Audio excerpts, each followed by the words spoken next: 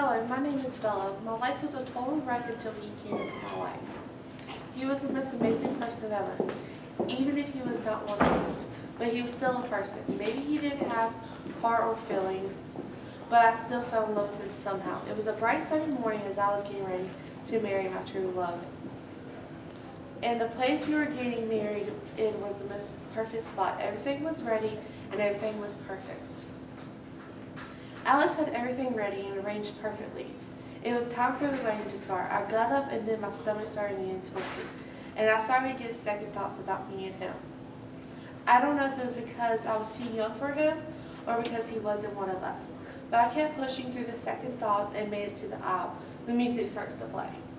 As I began walking down the aisle, feeling frightened, wondering if I'd ever be like him, or will he turn me into being him, my dress hitting the green grass and the towel drying behind me, bringing up the grass. But other than that, everything was perfect. But who knows? My dad to the right of me, happy as always, but I still had that feeling that something was up, but I didn't know. My dad looked amazing in the suit he was wearing, but it was the one he got married in to my mom. I seen Alice smiling ahead of me, and I smiled back.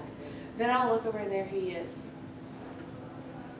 the man I was marrying. We approached the ordained person that was marrying us. I walked closer and stood there and looked down. When I looked up, Edward had blood all over him, just smiling. I looked to the crowd and everything was, everyone was covered in blood. I just stood there in shock and wondering why did, did this happen. Because, could it be because he's a, the wedding was over and it was time for our honeymoon, and he was taking me somewhere that was a surprise.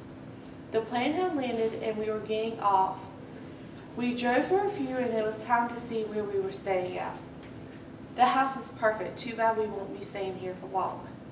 One week passed and we had to leave because I wasn't feeling right. We get back and forth and I noticed that I was looking the same as I used to be. So I started to look closer and Edward comes in the room he was like, I have news. He said that the plan we were having is now taking effect.